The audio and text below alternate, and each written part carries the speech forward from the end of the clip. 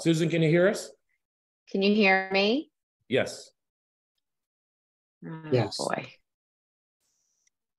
Okay. Sorry about the technical difficulties.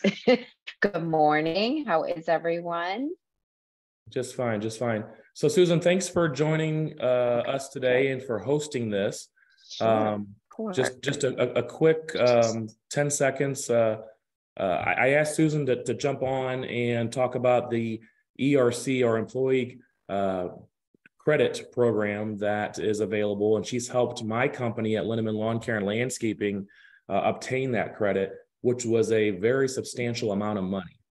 And um, people that I've talked to about this program and have mentioned this program uh, there, there's quite frankly, there's really a lot of uh, naysayers out there. I feel about the program, and they don't know um, how valuable it is or if they're even qualified.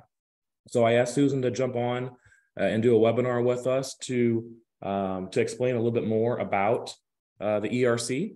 And uh, with that, I'm going to go ahead and turn it over to Susan to um, give us the presentation and answer any questions that uh, that you all may have. So Susan, thanks for joining us and I'll, I'll turn it over to you. Awesome. Thank you so much, Adam. Appreciate you inviting me and, and hopefully we can help everybody. Quite a few of you on here this morning. So what I'll do is I'll go ahead and share information with you and then I'll open it up for questions. Um, I'll just have you hold your questions till, you know, kind of the end, just because maybe I'll answer them. Okay. So the employee retention credit, what is it? Well, it came out of the CARES Act in March of 2020. The CARES Act included the PPP loans, the EIDL loans, and then the ERC. Some call it the employee retention tax credit. We call it the employee retention credit, but it's all the same. So here's a bit of a timeline for the tax credit. So in March, March 27th of 2020, business owners could take PPP or ERC, but they couldn't take both. Okay. Then, as you all know, everybody knew about PPP. The banks were incentivized to get that money into business owners' hands. Banks made billions of dollars. So everybody knew about the PPP money, right? Um, well, this program was established and not enough people were taking advantage of it. It was underutilized. So originally, the tax credit was $5,000 for a company per employee for the whole year of 2020. Then, because it was underutilized, they expanded that money. So in 2021, they expanded it to 7,000 per employee per quarter uh, for 2021. So a lot more money. Still not enough distributions. It was still very underutilized because at the time, people, if they took PPP, they couldn't get ERC. So they changed legislation again. Businesses that took out PPP could now also qualify for ERC. Um, within that legislation change, it was originally you had to have a 50% reduction in your gross revenue over 2019 quarters, looking at 2020 quarters. Again, um, still underutilized, and legislation was expanded to in 2021, it could be a 20% revenue reduction. Then it expanded even further to not only a revenue reduction, you didn't have to have a revenue reduction. It could be supply chain or um, disruption to business operations. And we'll get into that. So now the program, really since the end of 21, it include it, it's up to 26,000 per employee. Now, again, it depends on wages, PPP, there's a lot of factors, but it's a lot of money. Okay. So who qualifies? Businesses that show a decreased revenue. So we talked about that 50% in 2020 over 2019 or 20% um, in 21 over 19. Businesses with a partial or complete shutdown. So, you know, you assuming you you all are in the lawn service business, um, you probably weren't shut down being outside, um, but everybody's different. So that may not have impacted you, but it may um, to services offered. Um, the other, the last piece of it, supply chain. So if you had difficulty getting supplies that were needed, um, rock, soil, plants, uh, shrubbery, that sort of um, those supplies, shrubbery. as well as shrubbery, um, as well as trucks or you know your uh, equipment that you use if you couldn't get them fixed or parts that you had to you know so that's part of your operation. So um, lawn services i mean if any of those impacted you at all during covid during 2020 quarters or 2021 quarters and i'll go over those quarters as well um, then you can you can qualify okay so how much is our how much our business is getting again up to 26,000. We're averaging about 17,000 per employee. Um, our average business, and actually I would say this is higher, but our average business gets about 225,000. Again, depends on number of employees, wages paid, uh, payroll taxes, uh, health insurance. So there's a lot of factors. It's over 200 pages of IRS legislation. So here's a couple examples. Well, four examples. A retail shop in a mall, it was a chocolate store. Uh, she had nine employees. Actually, had sold the business, but still was able to qualify because still owned her EIN number, 68,000. A restaurant in Utah that has five locations, 63 employees, 1.2 million. A catering company with 15 employees, 262,500. And then a trucking company with 180 employees, 3.1 million. So it's all over, again, depending on number of employees and the other factors. So that, I mean, that is the employee retention credit in a nutshell. Um, if it, the quarters that are covered are, are part of the program are Q2 through Q4 of 2020, and then Q quarters one, two, and three of 2021. Currently, quarter four is not a part of the program um, we're hearing talks that they may add it. And if they do, then any business that we've helped, you know, we can go back and amend quarter four returns and even if they take it into 2022, because uh, many businesses were still very much impacted in 2022. So that's that's the program in a nutshell. So I can open it up for questions. Susan, one thing that I think it's important for um, those who apply for this um, know is that if your taxes are already filed for the for 2020, 2021, 2022, whenever this would take place, there's going to have to be a amendment to the taxes if they receive the money. Is that correct? Well, so I am not a CPA, but what I will tell you is yes, the business tax return so, partner, let me give you a little bit of background about myself. I'm in financial services.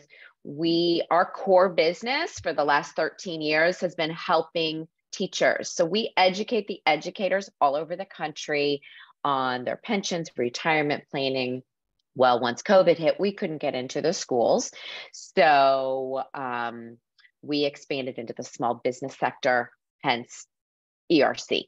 Um, with that said, um, so the the um, the employee retention credit is our partner. So we have we have partnered with the forensic tax forensic tax experts that they're the ones that are going to do the complete analysis and then file 941Xs on your behalf. So your payroll taxes will be amended during this process applying for the employee retention credit. Your business tax returns Those are the ones that are going to have to be amended by your CPA or accountant.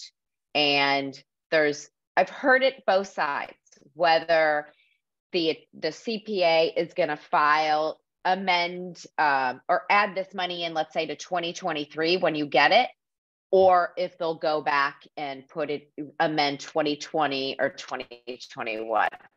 It just depends on the individual CPA again, this has been over 200, there's over 200 pages of legislation. So it's happening a couple ways. So, yes, it's taxable. It's not dollar per dollar taxable. You're still going to come out way ahead.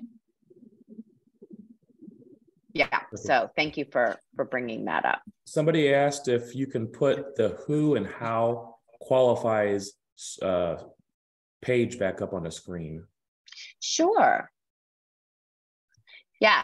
So basically, so Forbes came out with an article um, last year saying about 70% of businesses will qualify for this program.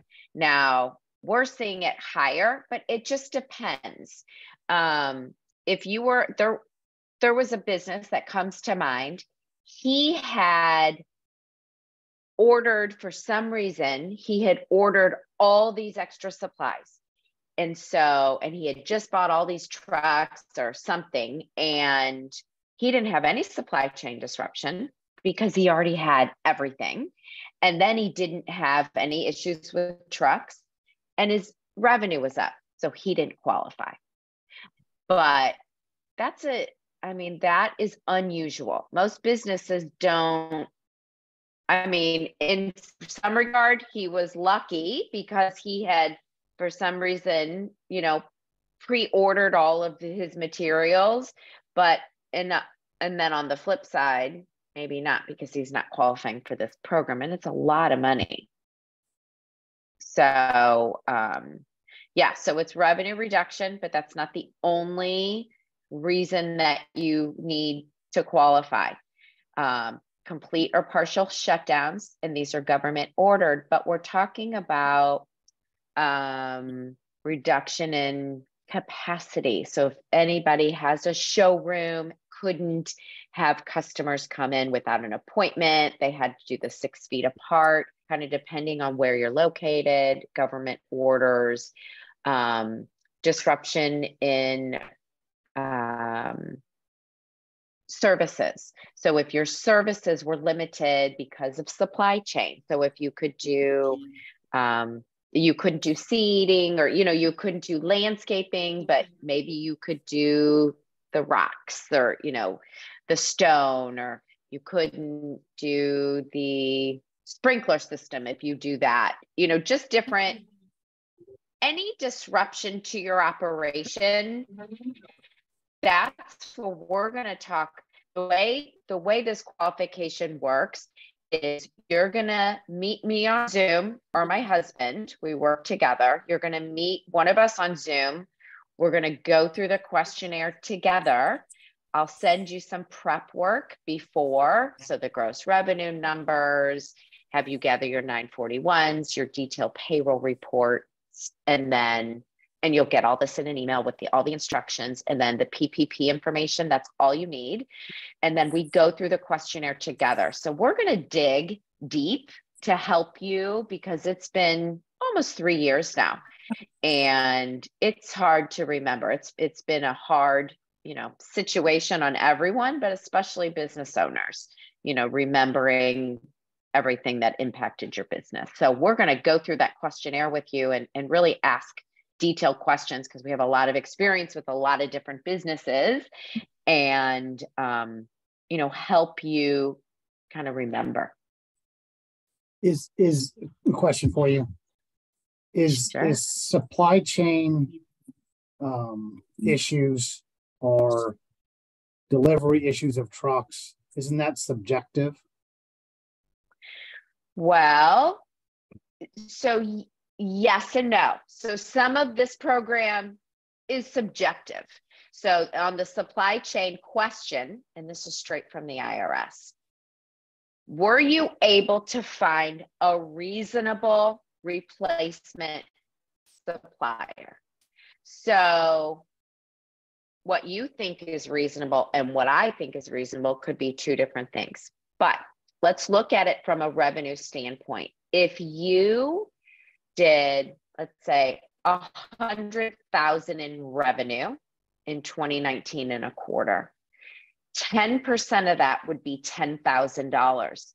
Was your business impacted at least $10,000 worth in supply chain disruptions.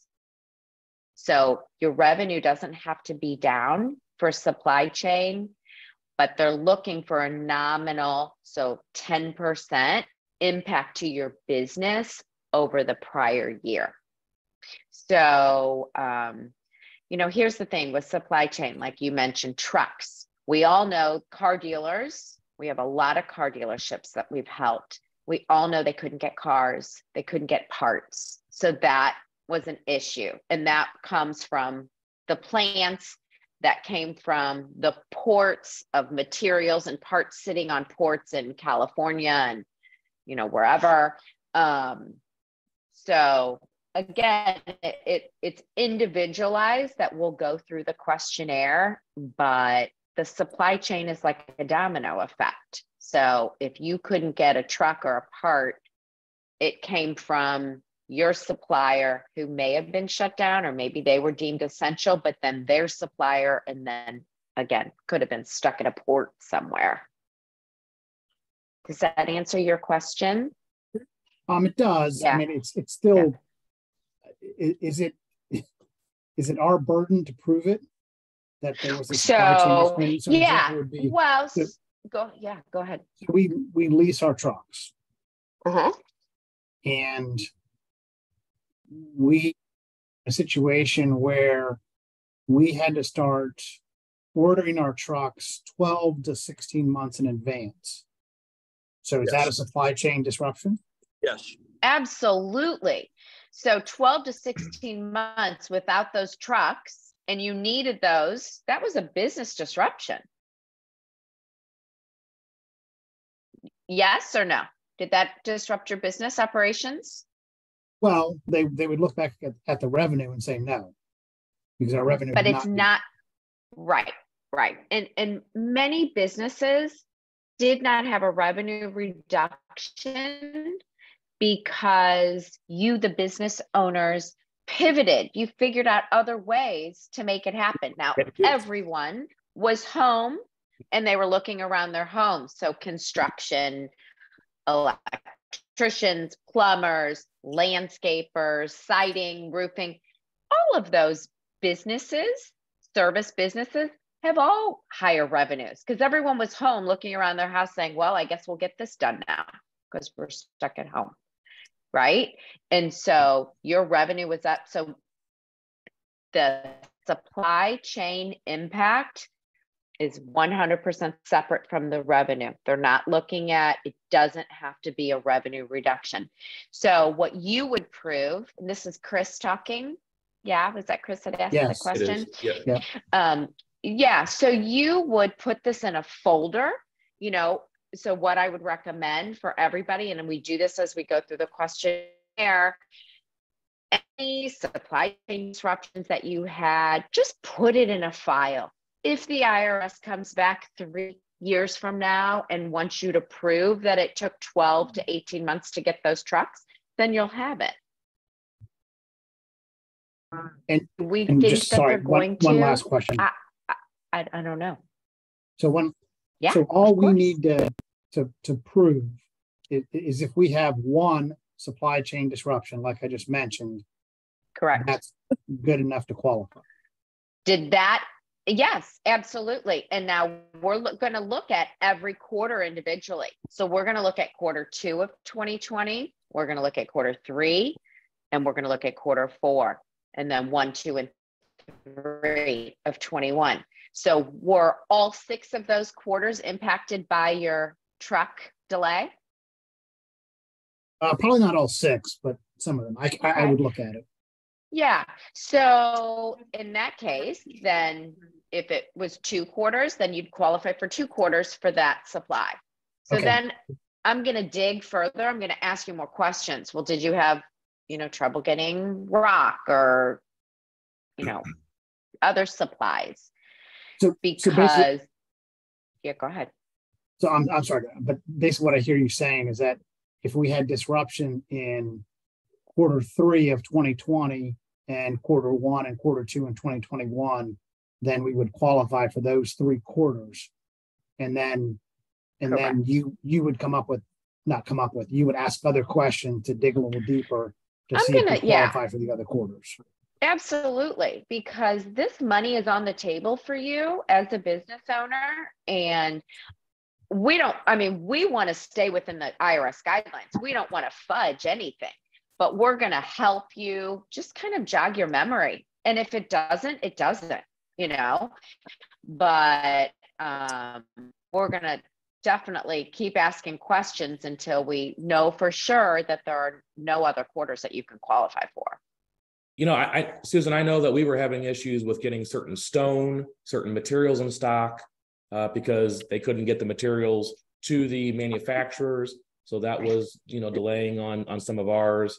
Um, there, there was an I I don't remember exactly, but there was a few things that that delayed it, as well as um, the shutdown in Illinois, too. There was there was definitely some guidelines that they wanted to shut it down and things like that also. So um, a combination of all that Right. us to be able to qualify. Thank you, Susan. Yeah, absolutely.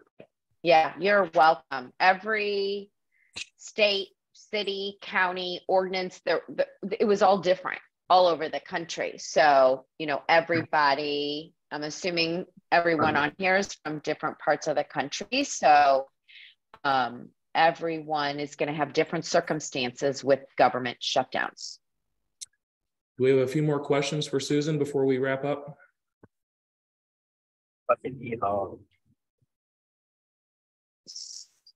So what I can do in here is I can put my email in here. And would that be helpful? And if you um, want to set up, um, you know, to go through the questionnaire. Let me see here. That's full. Okay.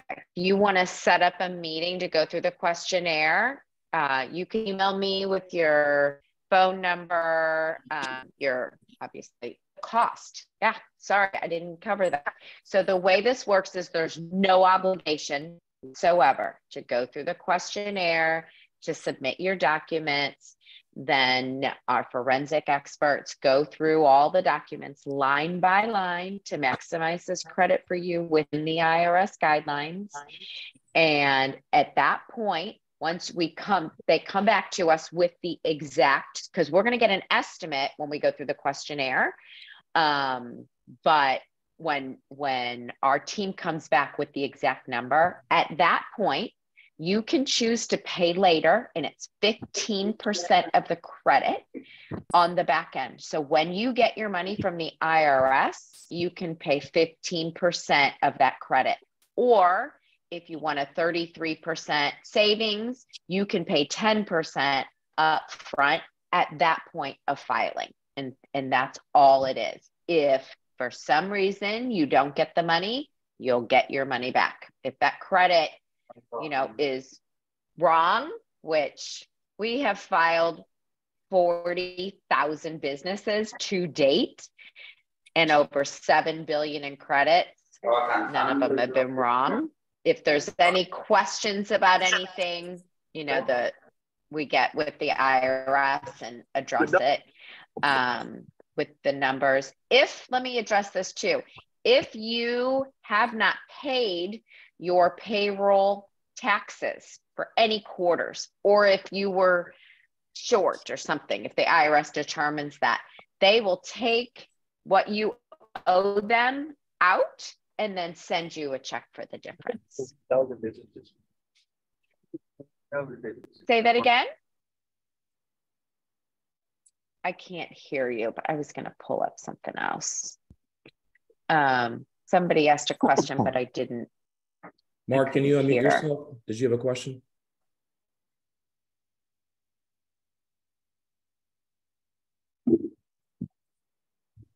Any other questions?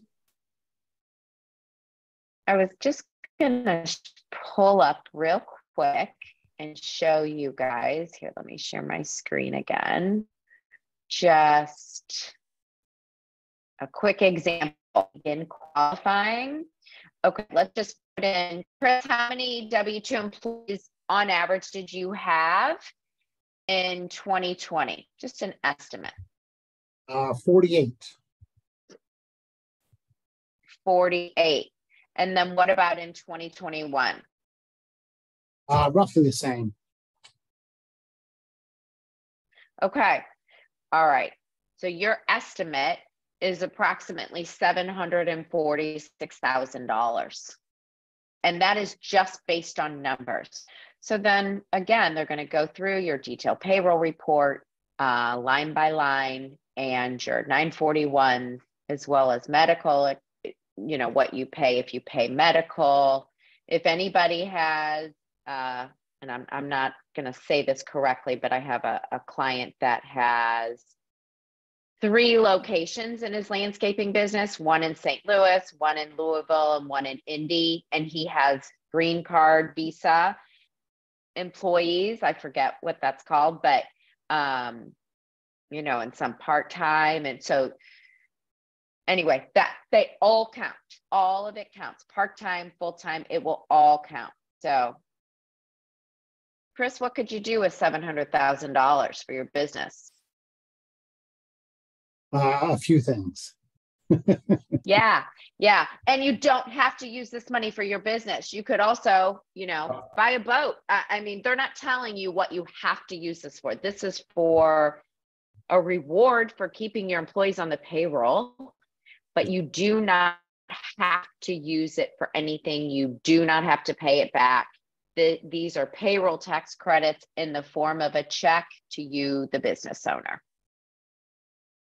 just like the PPP. Yes. Did yeah. not have to be used directly for the business. Well, the PPP, you had to use it for payroll. There were certain oh. rules oh. in order for it to be forgiven. Here, there are no rules. Yeah. So I'd love to help you, you know, all of you go through this and, you know, see how much money we can get for you. Yeah. Thank thank you. Thank you, Adam. Thank you, Susan. Yep. You're All so right. welcome. Just reach out if you have any questions or want to move forward. Thanks, Susan. Okay. You're so right. welcome. Take care. Bye, everybody.